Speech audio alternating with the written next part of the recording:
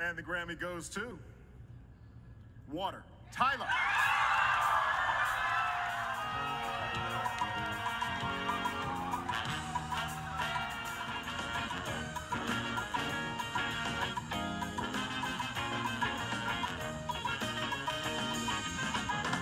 Oh my, what the heck?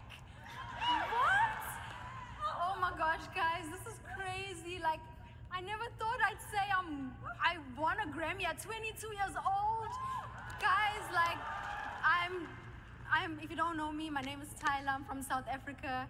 And last year, God decided to change my whole life. So thank you so much to God. Thank you to my team, my family. I know my mother's crying somewhere in here. Um, thank you to the Recording Academy for this category. It's so important. And I know I'm forgetting some things, but I wanna grab Grammy.